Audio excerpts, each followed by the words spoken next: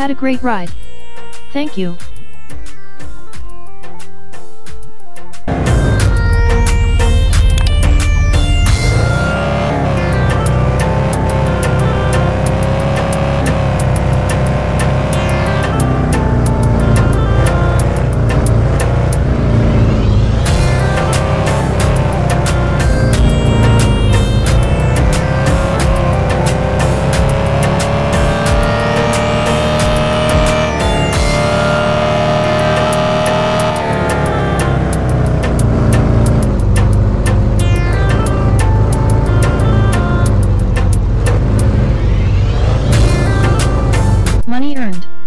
Wait for next ride now.